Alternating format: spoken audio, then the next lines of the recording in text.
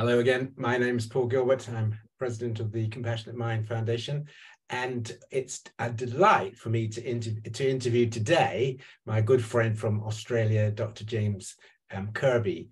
Um, now, James is one of the most prolific researchers in compassion and has just brought a new book out. So we're going to be talking about his research interests and focusing on how we can use his fantastic knowledge to create a more compassionate world. So let me tell you a little bit about him before we begin.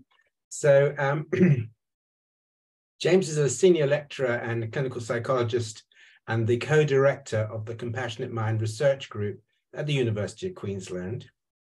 Uh, he has a broad research interest in compassion, but specifically examines factors that facilitate and inhibit compassionate responding. He also examines the clinical effectiveness of compassion-focused interventions, specifically in how they help with self-criticism and shame that underpin many depressions and anxiety disorders.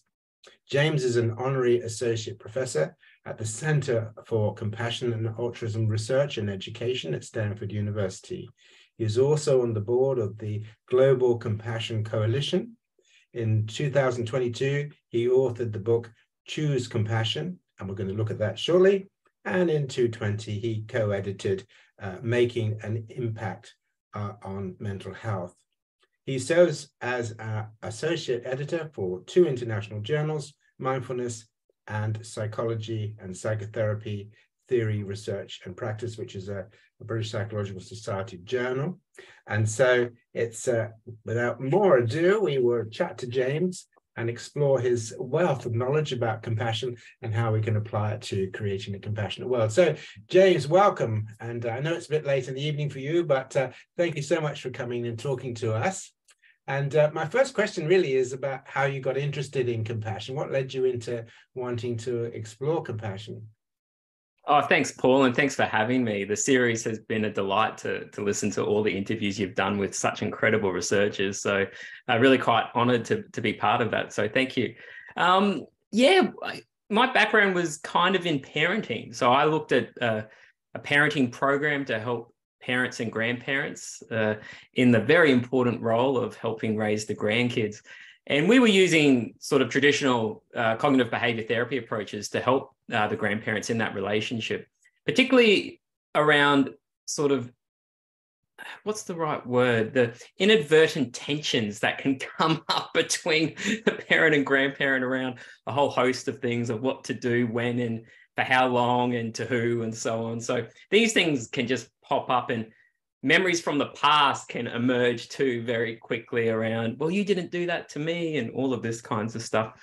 Now for a lot of people the relationship works great but for the work we were doing that was a real kind of source of difficulty for the grandparents and parents.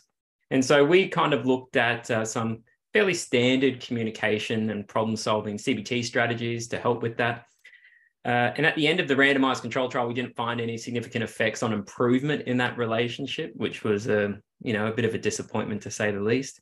Although we saw lots of other good improvements for parenting and, and child outcomes. But then we trialed it again in Hong Kong. We had it translated into Mandarin, and we tried again, and it didn't work. so that was a real shame. And then I thought, oh well, we must try something different. This really isn't uh, working. And during that period, I stumbled across your work Paul, you know, your work on compassion and its impact uh, with, you know, interpersonal relationships is just massive. And uh, I wish I had known about it before we developed the intervention. And so with my PhD student, uh, the now Dr. April Hong, we developed a, a sort of, a, based on your work, put together a compassion module uh, and put that into the intervention to help uh, parents in Vietnam, would you believe? So we had the material translate into Vietnamese, and April delivered it there in Vietnam. And uh, we replaced the CBT communication problem solving with a compassion module around developing your compassionate self, strength, wisdom, commitment, and how you might bring that into the relationship.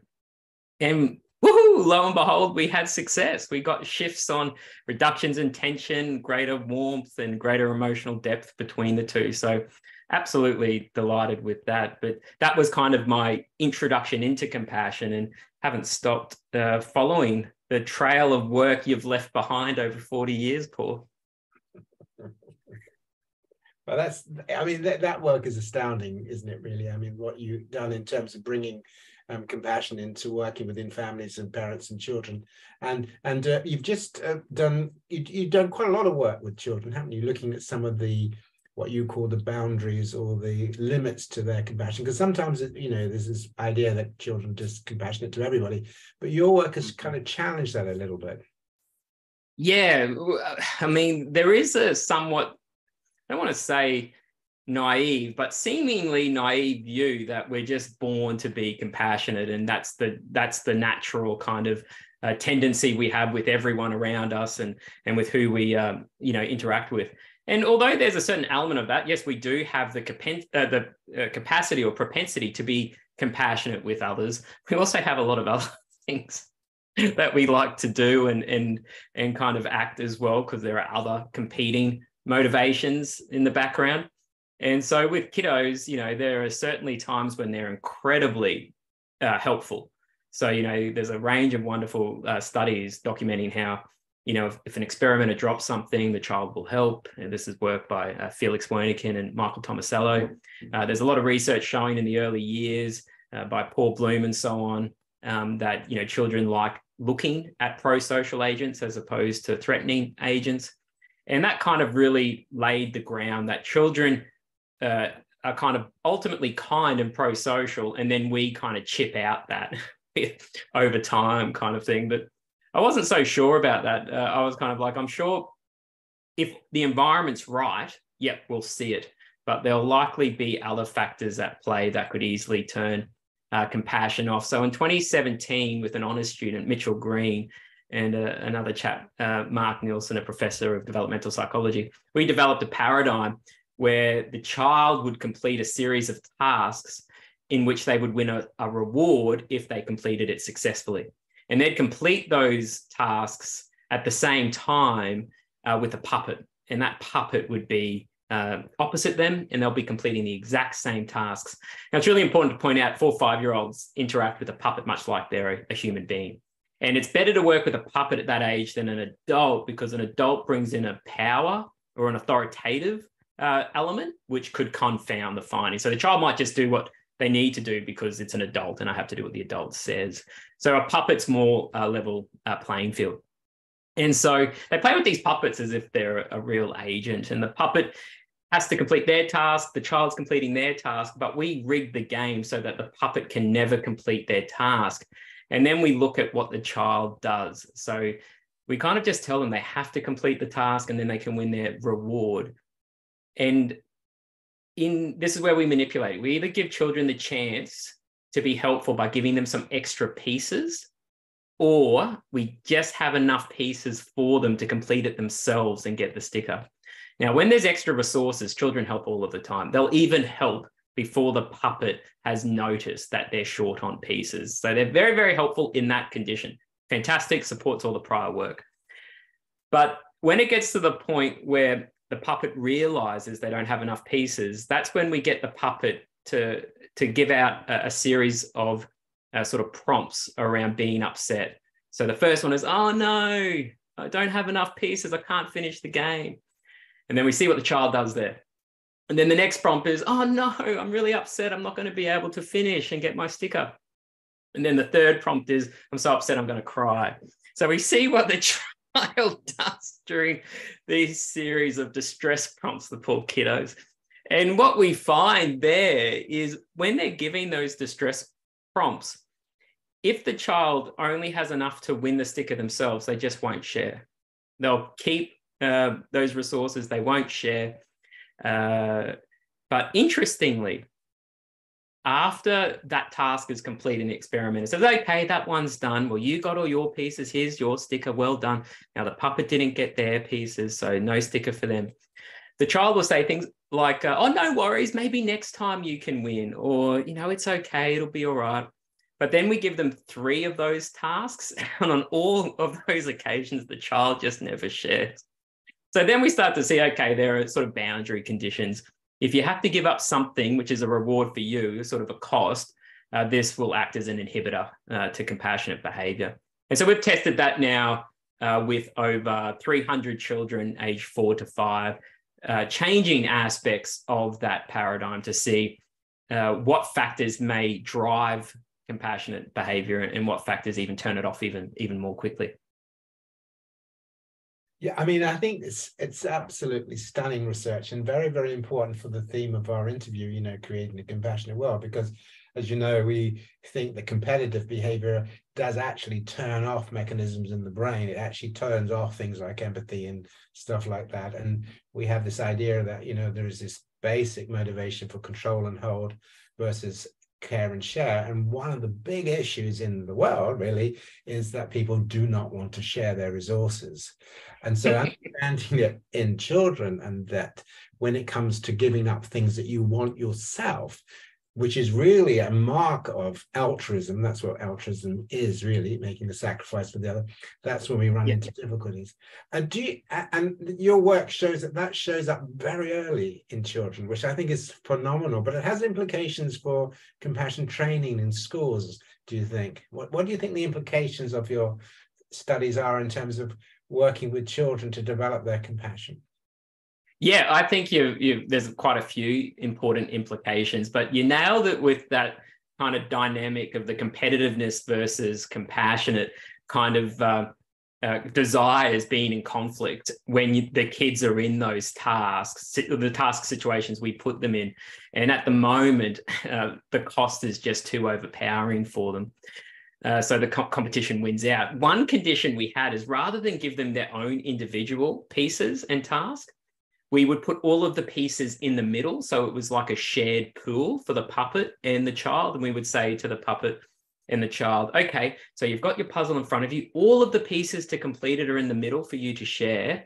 Um, the idea is, is to complete the task. And if you complete it, you'll get the stickers.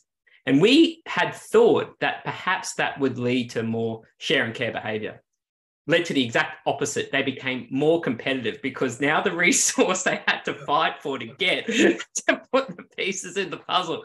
So I mean that that kind of went um, uh, contrary to what we were anticipating. The only time where we turned we saw it turned off was when we gave that explicit instruction to the kids um, that they could share and that it was fine to share and regardless of uh, how they perform at the task, they'll both get they'll both get stickers. So in those instances, children will increase their helping, but still not to the point of constantly helping as if there was extra resources. Still, the highest we could shift it up in that uh, condition was 50%.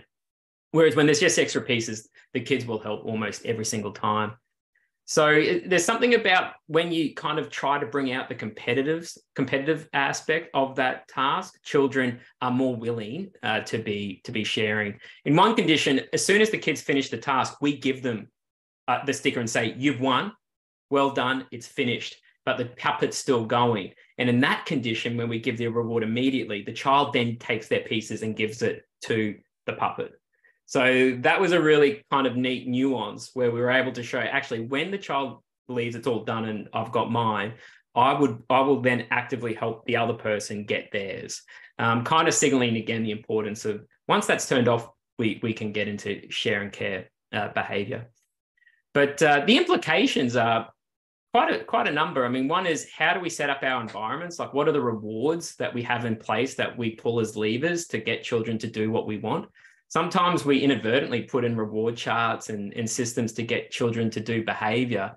Now, if they're linked to share and care, um, it might not work the way in which we want. So we set up a, an environment where we wanted share and care, put rewards in as well. As soon as those two things are kind of competing for each other, children can kind of get caught up in the competitive aspect and perhaps the reward is doing a disservice. Another one uh, aspect is is sometimes children are blamed or, or kind of um, kind of you know belittled by parents or adults or teachers for not sharing.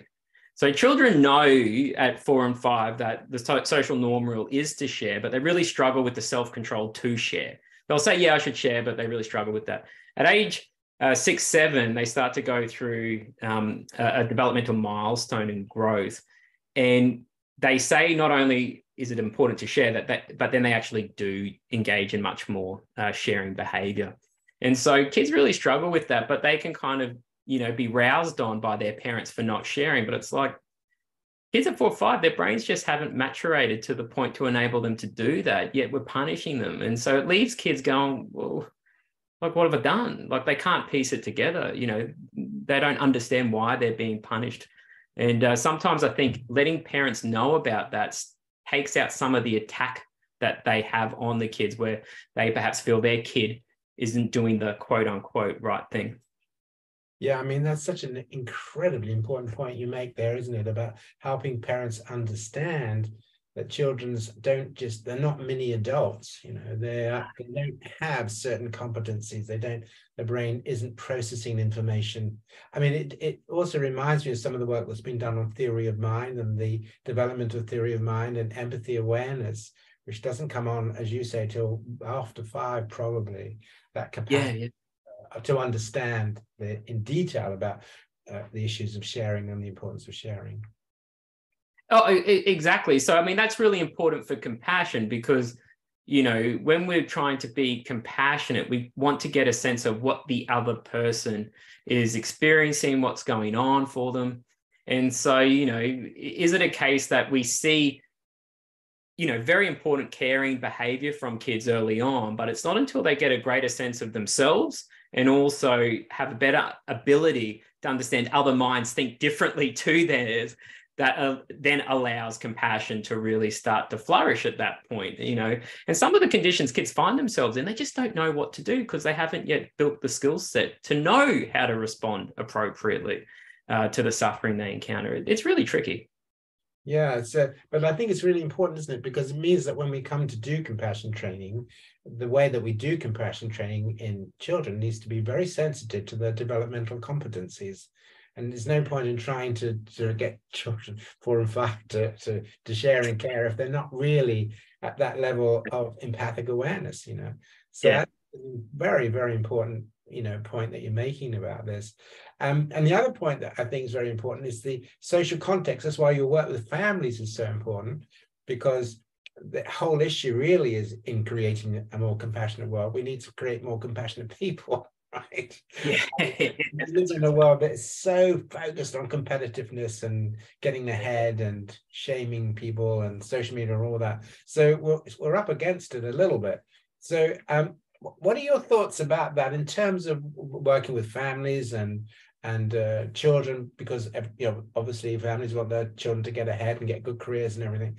Yes. How, how can we bring in more of a compassion focus with families and and in schools? Do you think? Yeah, it's a, it's a bit of a, a million dollar question. question. I haven't got the the exact answer uh, to it, but except that it is complicated. But families do offer a context which they can really have a very uh, powerful influence on how kids uh, view compassion, experience compassion. I mean, the first experience children have of compassion is receiving it from their parents or, or perhaps an older sibling or an auntie or uncle or, or grandparent. So it really acts as a fertile kind of ground to help support uh, enablers to compassion. And uh, a lot of the work I was doing prior to working in compassion was is often on the other side of the coin, where parents were uh, quite attacking of kids, um, you know, name calling, um, even hitting, uh, these kinds of things. And those kinds of actions in early childhood can make children start to become more fearful uh, of compassion. And there's been great research by yourself and Marcela Matos and others who have kind of looked at how did the origins of fears of compassion uh, develop. And work we've done here uh, in our lab as well has shown that, you know, as adults, if you've got high fears of compassion, this is uh, extremely predictive of difficulties with shame, self-criticism, depression, and anxiety, and and, and poor uh, well-being. So, to intervene there at the the parenting level when the kids are young, um, I think is a hugely powerful uh, intervention that we can bring in. But families need support as well. You know, parents just can't be expected to be able to know what to do. Um, you know, right from the get go. The way the kind of societies have kind of shifted over time, particularly in the West, we don't have a lot of parenting support. You know, we move. A lot of people, their own parents are miles away, if not, you know, states or countries away. So with all this globalization and movement, the parenting uh, family village that you would have grown up in uh, back in the day, um, maybe back in your day, Paul, um, you had a lot more support and, and, role models around you to help with that. Whereas one question we asked in our compassion, uh, tra- uh, compassionate uh, uh, mind training to parents is, before you became a parent, how much time were you spending in your day with kids? So before you became a parent, how much time were you spending a day with kids? And sometimes we go, okay, if not day, week, fortnight, month, and some of them would say, well, I don't really spend any time with kids for years, unless the they had a brother or a sister who had been a parent and they were an uncle and aunt. And so it's been for some up to 10 years since they've had regular contact with kids because 18, start their career at university, whatever it might be, get into their profession, um, stay with that group and that um, professional network and so on. And they just haven't got because those communities they're working don't have kids around them.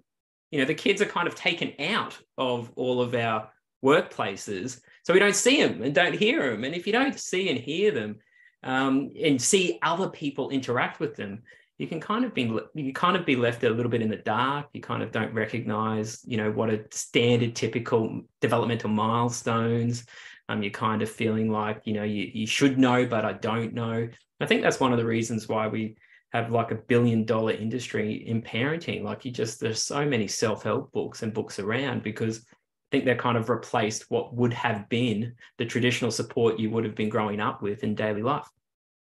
I mean, that's a brilliant point, isn't it? I mean, you know, the work of Darcia Narvaez, who's actually done one of these interviews, that in fact, um, you need a community to bring up a child. In hunter gatherer societies, um, often the children didn't even spend the most of the time with the parent. They would have a you know preferred uncle or older brother or something like that but um, you know they always had someone they could go to and interact with and so forth and it was a shared so young mothers were seeing older mothers and so on and so on. So it's a brilliant point that you make. And now we live in these very segregated lifestyles where people sort of closeted away in their own homes and and so on and so on. It, and a lot of women don't get the support anywhere near the support, or families actually don't get the support that, that, that we need to bring up caring, sharing kids. So I, I, think that's a really important point. Do you see any way in which that could be addressed, that ability to create more of a community for uh, uh, looking after and bringing up our children? Yeah, uh, there are a couple of ideas. One idea is, and this was perhaps uh, just standard policy in uh, the, the more Nordic countries, is actually give a lot of parental leave, allow parents, both mum and dad, to have extended paid parental leave so they can spend that time with their kids, taking them um, uh, beyond just the traditional home, the family of origin, kind of at home in your house, out into the world where they get to see other people with them, and uh, and it kind of creates this kind of safeness uh, feel for them because they know they're supported by their government or by their employer because they've got a year or two year paid leave. And so that builds a really trusting relationship between uh, the two of them, but also it enables the, the parent to, you know, um, connect with the child beyond just you know the six to seven p.m. you know kind of little nightmare hour where you're kind of cooking, cleaning, getting them prepared for bed. You've just returned home from work. You know, uh, people are stressed out, and you got to do everything very quickly in a short period of time. Uh, so I think that kind of parental uh, care would be, you know, to be able to spend uh, prolonged periods. I know some uh, companies here in Australia, for example, uh, provide a two year paid paternity leave option that you can activate at any point before the kid's 12. And so you can activate them at different different stages of life because we know the first three years are, are really important, but you know that doesn't mean the other years aren't important either. So to build that flexibility into the system to help parents make those decisions, I think is really cool. So that would be one thing. The other thing is also making sure that parents can get easy access to support. Uh, so a big thing in Australia has been trying to make parenting a public health issue. You know, you shouldn't have to scratch your head um, or not be able to freely access support, particularly if you are having a lot of difficulties and you shouldn't have to be out of pocket for getting access to that help. Uh, so one is just making uh, you know evidence-based uh, parenting support free and available, and I think the, the the return on investment on something like that uh, is is astronomical. Yeah, that's that's that's such an important point. And we then you've probably seen we also had Julian Abel um, talking about building compassionate communities and actually facilitating young uh, parents to form communities of young parents. I know when we had our children, you know, there was the um, prenatal uh, uh meetings with other mums to be, but once mm. The child was there, that was it. There was nothing else. And so there was no community to kind of click into. So, you know, we were there by ourselves, our families weren't there, but there wasn't any community to click into because there was no continuity post birth. And I, I suspect that if we would create communities of people who can go through a journey together, so not only for prenatal, but actually for the first few years of life, they can meet up and talk and they can be, you know, invited to come back together and, and so on and so on. It, it, oh, absolutely. Really I mean, mothers report that their loneliness increases significantly post birth, um, massive levels of loneliness for them. Um, and at the same time, of the father groups that exist, most commonly, they're still held in a pub. I mean, it's like we're still holding on to this sort of stereotype of you know men in pubs with beer that's how they talk about fatherhood and really nothing around fatherhood is really discussed all that much um, and the women come together and they'll do something like, you know, go into a park with the kids um, and do something. And, the, and even in those instances where dads are invited, they'll sort of stand off by themselves having a beer and, and chatting amongst the dads about sport or something like that. There are still massive um, problematic uh, stereotypes and, and kind of, uh, uh, you know, experiences that have been held for 50 years around how, if not longer, around the differentiating gender roles between mum and dads have in in in children's lives that is still very very significant today. Yeah i think much longer than 50 years i think it goes way doesn't it? Way way back. Um so, well you're right yeah. Yeah absolutely. So i mean a lot of the work you're doing you see i think is really highlighting all of these key issues about the if we want a compassionate world we need to have compassionate people and that means we need to help them develop compassionate brains and we need to create the social context for that to happen. That means we need to understand the kinds of things you've been researching what are the facilitators and inhibitors in in young children and later on. And that brings us on to the fact that you have done a lot of work on facilitators and inhibitors. You did a big meta-analysis didn't you back in 2019 which was quite extraordinary. But you've also done a lot of your own work on, on this and the moral compass. That's the other area of your ah. which is so fascinating. Yeah, I mean, one of the the I mean that meta analysis was kind of a study I was kind of alluding to earlier. I mean that scale you developed for the fears of uh, compassion. Um, I mean, you developed that I think in 2010 uh, or 11, um, and we meta analyzed it across 2018, 2019, and we had data from over five and a half thousand people who had um, completed that scale, and it would have gone, you know, uh, through the roof now, uh, probably double that now.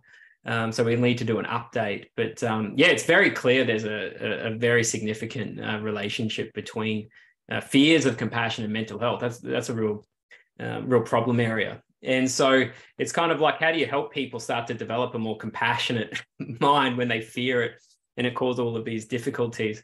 Uh, and that's of course where it leads into all of your um, brilliant uh, compassion focused therapy work. But another angle to that is you can fear compassion for reasons that aren't concerning perhaps how you were treated in childhood necessarily but you could you can kind of have um, a block to compassion because you feel that actually being caring towards another group or extending it to another uh, target beyond your typical boundary um, comes at a cost. It's almost, they call it a zero sum belief. And so there's this belief that um, if I'm to extend care to you, that means loss of care for me. And so for some, there's this belief that I can only extend my concern uh, to a, select few. uh, because really I need to ensure that my group or my family or whatever it is is being cared for. And this, of course, ties into your work with uh, social mentality theory and um, competitive motivations versus uh, compassionate uh, orientations. And you know, we've been you know living in a capitalistic society, very um, individualistic, with this this sort of hyper competitive mindset um, that kind of been drilled over us hundreds of years. Um, it kind of makes it very difficult for compassion to emerge in that environment.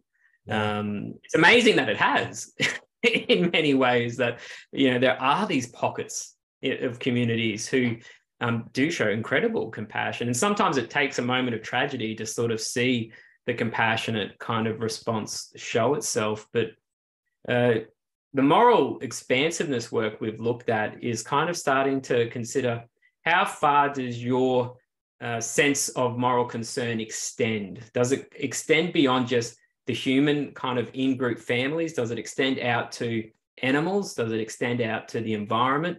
And does it extend, extend out to people who have caused great harm? So think of murderers and so on. So at what point does your concern kind of uh, have its boundary limit? And what we've found is uh, in the research we've done is a lot of people have in, uh, done work in this space showing that empathy, uh, is very important for moral expansiveness. Uh, mindfulness can also uh, potentially be important for moral expansiveness. So we did some work looking at those uh, constructs alongside compassion and fears and compassion. And we found that when you look at compassion and fears, empathy and mindfulness become no longer significant in explaining any um, noise in moral expansiveness. And the biggest uh, factor for moral expansiveness was fears of compassion. So the work we're doing now, Dr. Uh, Charlie Crimston and I are really starting to look at, uh, you know, what are those particular mechanisms at play that influence a restricted moral expansive mindset, and how compassion training can start to shift people into growing their moral expansiveness because there's this belief that it's got a net capacity and it can't grow. But um, in some research we've just done, we've found you can grow it. But um, that's under review at the moment. Okay, so we'll look, we'll certainly look uh, forward to that very much. And um, you've also done uh, some really fascinating work uh, looking at important distinctions between things like kindness and compassion as well. And uh, you had this paper published in Mindfulness last year, I think it was. Um, so that was really interesting, wasn't it? That we find that you know kindness is quite different to compassion, really.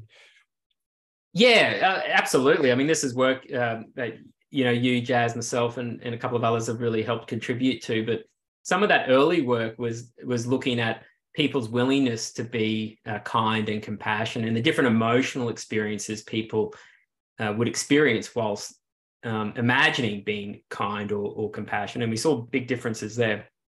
And then we extended it to look at getting people to imagine someone that they know and like, and also someone that they know and dislike, and then imagine being kind or compassionate to them. Now, the good news is when you like them, you're always kind and compassionate. That's fantastic. But when it's someone you know and dislike, you, you drop to floor levels in your willingness to do some do a kind act for them. You just not at all. Um, so it's very jarring, as you can imagine. I hate this guy. Why would I do anything kind for him? And of course, kindness is like, you know, favors or gestures you might do to show the person that they're important or they matter to you. So they don't have to be suffering. But then when we look at people who they know and dislike, and we put a compassionate scenario um, in front of them, uh, people's willingness to be compassionate to them it drops, but nowhere near to the same degree as if it was kind. So um, I think if we're going to start to address uh, address those people in our lives or the world, and there's dislikeness um, there, and dislikeness is a very big, and likeness is a very big uh, factor that facilitates and inhibits. Um, compassion is our is a much more promising gateway in to you know connecting with that disliked other and possibly through that shifting the texture and and um and the connection you have with that person because you know all of a sudden you, you're engaging and doing something and depending on how that interaction is received and goes it could very much be transformative uh, for that relationship So we have to look at ways that we can overcome these traditional boundaries we have. And I think uh, compassion is probably, well, as far as I'm concerned, it's the the key to unlocking uh, a morally expansive mindset and creating a compassionate worlds. Yeah, that's that's and your work is so informative on that and um, we won't go anywhere near the word love because that will put me through the yeah, that's another thing but this definition i think which comes from buddhism and other places you know about this preparedness the sensitivity to engage in pain and your first movement is always going to be stressful. You're not going to a party. Compassion requires you to go into something stressful and the ability to tolerate that and be prepared to understand that. And then the second aspect of the algorithm is so what are you going to do? And there's quite a lot of mm-hmm. evidence now that if you just stick with the first one, just being empathic, oh dear, isn't this terrible? That that burns you out. But that second part of the being motivated to do something, I think is is really quite important. And the problem with the fears of compassion is that the, you can have a fear in both you can be frightened. I don't really want to have to experience that. I, you know, I feel overwhelmed by it, and um, I haven't got a clue what to do anyway. So, and I don't think they deserve being. so, um, so that's such an important area, isn't it? That we get people to really understand that the root of compassion is this: there's courage and wisdom to engage and work out what to do. You know, it's not about being kind necessarily or nice or loving somebody. You can be compassionate to people we don't like which is what your work has clearly demonstrated. So these are very, very important concepts. Um, I was asked the other day, somebody asked me, um, but do you think compassion is enough, really? It's not really enough, is it? very clear. They haven't really understood what it is. And you say, so, well, it's a deep sensitivity to suffering, a sense to whether real prepared to do something about it, whether you're a firefighter or a COVID worker or a counselor. You know, what more do you want? that's that's right. This work that you're doing is so important. Where where do you sit? I want to talk about your book in a minute, but before that, so oh. all this brilliant work that you've done in quite a number of different areas, as we've touched on, where are you going? You know, where are you? Where is your research going? Where do you want to take it in the next few years? Yeah, one of the uh, we've just been funded uh, by a, a, a, lovely grant, uh, the Peace Grant from the Mind and Life Institute uh, which is going to fund our work for the next two years. So very grateful for that.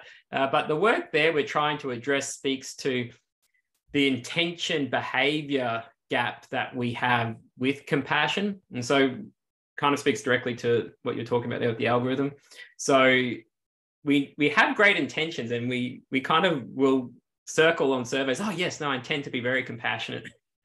but then when it comes to the opportunity to then be compassionate, it, it doesn't always um, it doesn't always go perfectly. You know, often there is kind of a, a, fairly significant gap between what we say we'll do and what we actually do. And of course, there's a whole host of factors um, that can influence uh, someone not acting compassionately in a, in a situation. But we're trying to work out what are some of the, the core factors uh, that help drive the, the behavior, uh, but also what are the core factors uh, stopping you from acting? Uh, so we're trying to look at ways, uh, uh, well, well, factors that influence the magnitude of that gap. Because if we can start to find out what those are, we might be able to shift um, the focus of interventions if we need to, to try to help reduce that the extent of that gap. So just by way of an example, you know, there aren't a lot of studies that have looked at actual compassionate behavior. A lot of it is sort of captured through self report. Um, but of some of the work that has been done, uh, there was a person who is on crutches who is in a lot of pain and has nowhere to sit. And what they test is whether or not the participant will give up their seat for this person who's in pain. So they're clearly suffering of physical pain. And these participants would have either gone through an eight week compassion training course or not. And what they find is if you've gone through eight weeks of training, you're significantly more likely to give up your chair, but only 50% of those did. So, I mean, it's extraordinary. Like you do eight weeks of training, like, you know, 16 hours um, of, you know, uh, time in the group, let alone all of the practice work you do between. And that just leads to 50% of that group helping someone who is in pain, uh, you know, with an injured, injured leg. I mean, it's low level helping too. It's just giving up your seat. So it kind of feels like, in terms of cost, that's an extraordinarily low cost to give up um, in order to to kind of show up, you know, express compassion towards them. And they've done other work showing that if you just do self directed audio over three weeks, um, it still leads to increased helping in that paradigm, but it drops to 33%. And so, you know, it's kind of, I find that kind of slightly, um, well, I think that's really important, that finding firstly, but also uh, slightly disheartening to know that, you know, despite all of this work and deliberate training, it's still not translating to just even low level um, compassionate behavior um, in low level suffering conditions. So, what, what's going on there? One, one belief was it all had to do with empathic accuracy. If you could, if that was strong, surely you'd be able to pick up that this person was in pain and, and you'd be okay. But that didn't do anything. So um, we're trying to work out what's going on there. And I think part of it is often when we're practicing um, compassion, we're not rehearsing in our mind the action part of what it is that we could do. So if you're in therapy, even if you're in like sports or performance, you will be imagining the acts that you would be doing in order to do the to do the tasks successfully you know we do it in exposure for goodness sake you know imaginal exposure and it, it works but with compassion, we don't spend a lot of time in that second part of imagining what is it that you could be doing that would be um, compassionate behavior. So we're testing to see if we get people doing that, imagining, practicing the imagining of being compassionate, will that lead to um, a reduction in that divide between intention and behavior? I think, yeah, I think that's brilliant. And that comes because you have a very clear view that it's an algorithm, it's a stimulus response algorithm. And it doesn't necessarily mean because you have the stimulus, you, the response will follow. That they, it, it might, but it doesn't necessarily. And there are many areas in life, you know, like going to the gym or saying, I know. Yeah, exactly. I don't. Exactly. Um, so that's such an important point that you're making. And also, you know, you, have seen this with clients, no doubt. They'll say things like, well, well, I thought about it, but it never occurred to me to do something. You know, I saw yeah. I never thought, oh, I could give up my chair. I didn't have that thought. I had the thought, oh, there's suffering, poor, poor person. But I didn't have the thought, and if I gave up my chair, that would help them. So, so the interesting question is, did they have the thought and dismiss it? No, I don't want to give up my chair so that he can suffer in vain. Or did they simply not think about the action? So what you're yeah. doing, I think, is absolutely fundamental. I mean, do people think about an action or do they just yeah. about an action?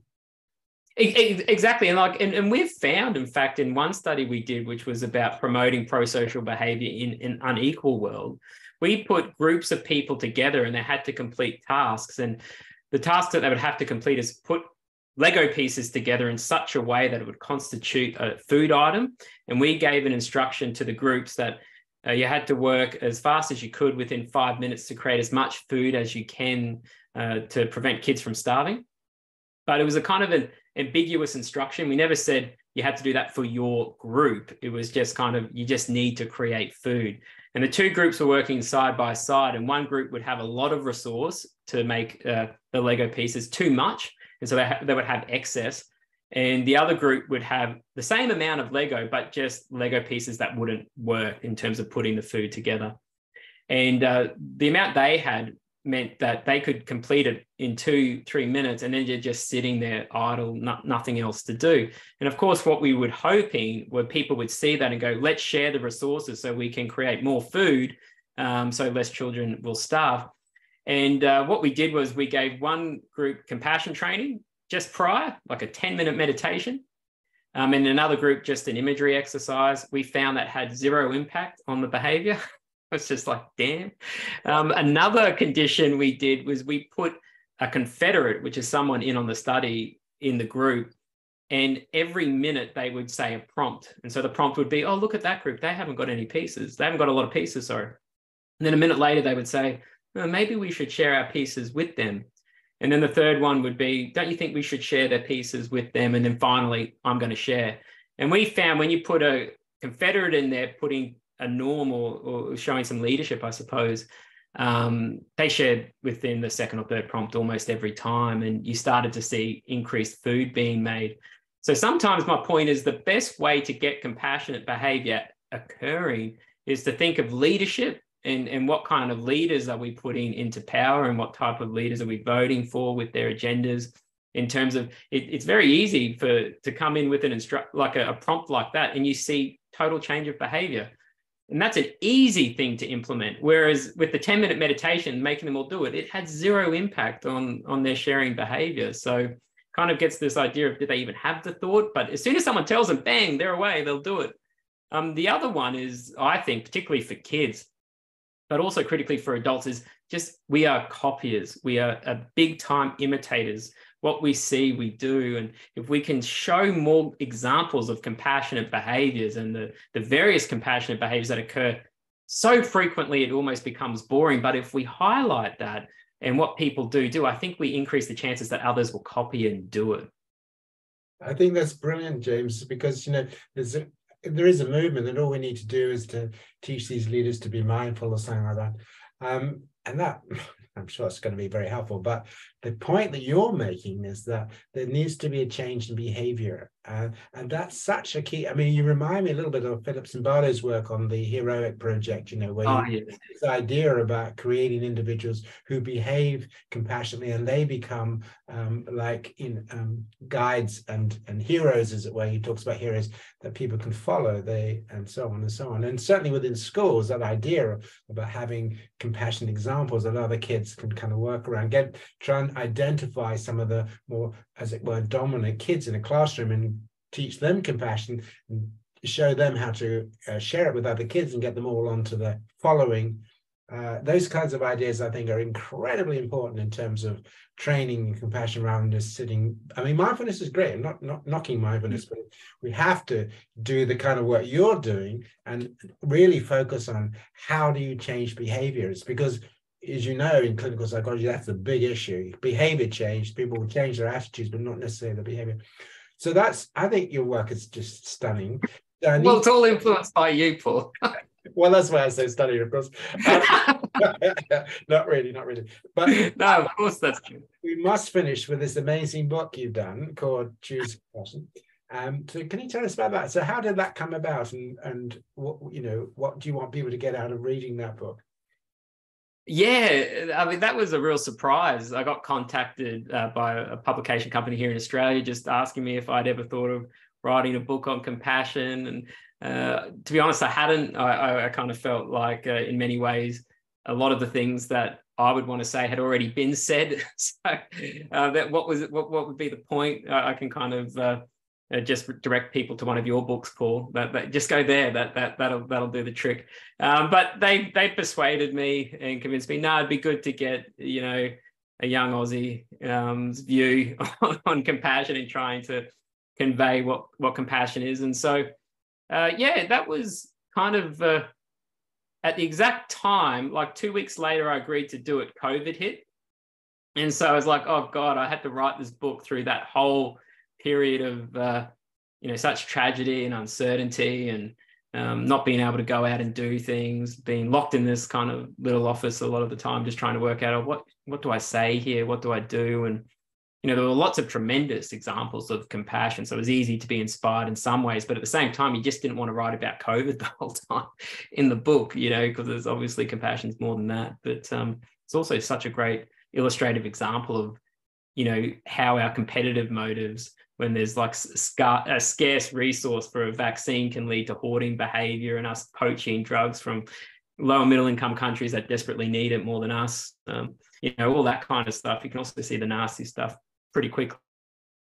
So um, it took longer than what I intended it to take the book, but I'm I'm blaming COVID. But uh, had a lot of support from colleagues and friends, and I guess the the take home is in the book is is perhaps uh, two things. It always changes what I think the take homes are, but I think I think one of the take homes is, is, is firstly just how important family can be to helping lay the, the grounds and how we can help parents with that um, is really important uh, for compassion. Uh, but also, secondly, trying to think creatively about compassionate behavior. Compassion is so much more than a hug um, or a kiss or you know a, a there there. It's um, as you said, it requires a incredible amount of courage and wisdom.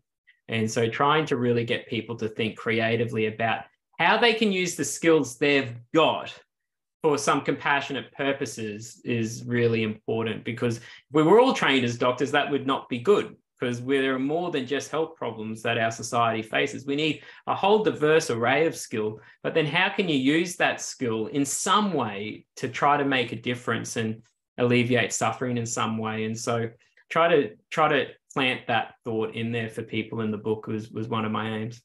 Yeah, it's a wonderful aim. I mean, it's a beautifully written book where you weave in um, easy to understand concepts about why choose compassion. I mean, you answer the question very well in the book, um, but also some of the scientific evidence. And uh, this idea, I think, it's such an important idea that, you know, within universities, there is a university here, I can't remember which one it is, but says to all of their um, undergraduates in engineering, how are you going to use what you learned for the benefit of humanity? How are you going to use your knowledge to benefit, you know? And I think that's a really great question to put towards to students. So it's not just about you benefiting you, but you how are you going to use your engineering knowledge to or, or geographic knowledge or whatever. Um, James, um, we've really gone for longer than I was anticipating because you're just such a fascinating person to talk to. We could talk to you forever. Um, so is there anything that you would like to add in terms of your vision of how you see we could create a, a compassionate world before we go? Because you're doing so much work to advance it, I think. Oh, uh, just to say, I think what you do in the foundation is just been so helpful at getting people uh, inspired. And really, you, you, you kind of set this really wonderful uh, example, which picks up like a contagion. And the amount of researchers now doing compassion around the world because they've been introduced to it through the work you've done is is really so important and can't be um, understated. So uh, thank you, Paul. And uh, I think what the foundation is doing and other groups that are emerging, like uh, you know the Global uh, Compassion Coalition and so on with Rick Hanson, are going to be and, and Jennifer Nadel with Compassion Politics. I mean, these are what we need people coming together with this energy. And I think compassion has energy behind it to kind of get this behavior happening is really an exciting piece for me now. Yeah, absolutely. But it has to be based on the science. And I do see you as one of the top, you know, international world scientists in compassion. I mean, the work that you're doing is fundamental and, you know, uh, life changing. James, it's been a delight and a privilege to talk to you and to you on our interview series. So thank you so much. And we're looking forward to seeing you at the conference in October. Uh, thanks, Paul.